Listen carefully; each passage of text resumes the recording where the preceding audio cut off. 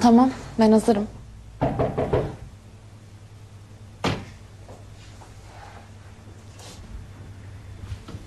Ömer Bey.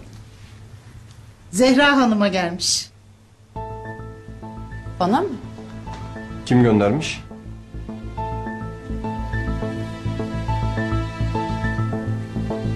İçinde kart var.